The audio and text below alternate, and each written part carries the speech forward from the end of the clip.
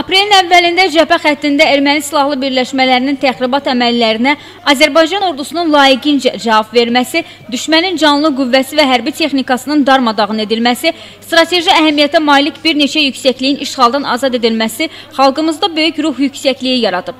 Tərtər şəhərində Müdafiə Nazirliyinin və Tərtər rayon icra hakimiyyətinin təşkilatçılığı ilə Hər anımız vətən deyir adlı kütləvi hərbi şöhrət bayramı keçirilib. Ön xəttdə xidmət edən hərbi qulluqçuların, ictimaiyyət nümayəndələrinin Qarabağ müharibəsi veteranları və şəhid ailələrinin gənclərin iştirak etdiyi tədbirdə Müdafiə Nazirliyinin zabiti polkovnik Abdullah Qurbani çıxış edərək aprelin əvvəllərində cəbhədə baş verən hadisələr zamanı Azərbaycan ordusunun düşmənə vurduğu ağır zərbələrdən və hərbiçilərimizin döyüş meydanında göstərdiyi qəhrəmanlıqdan söhbət açıb. Əminliklə bildirilib ki, xalqa ordunun monolit birliyi sayəsində belə hərbi vətənpərvərlik bayramları tezliklə işğaldan azad edilmiş ərazilərimizdə keçiriləcək. Tədbirdə çıxış edən Tərtər rayon icra hakimiyyətinin Hakimiyyətinin başçısı Müstəqim Məmmədov bildirib ki, hər anımız vətən deyir adlı hərbi şöhrət bayramının qəhrəman tərtərdə keçirilməsi hər bir tərtərlini ürəkdən sevindirir. Aprelin əvvəlində cəbhədə baş verənlər xalqla ordunun monolit birliyini, Azərbaycan ordusunun qüdrətini bir daha sübut etdi. Silahlı qüvvələrin mahnı və rəqs ansamblının infasında hərbi vətənpərvərlik mövzusunda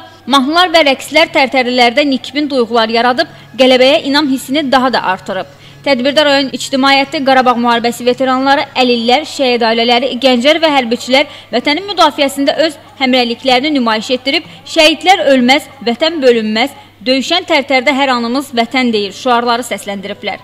Gülü Əliquliyeva, Şamxal Cəliloğlu, Loğman İsmailov, Dünya TV.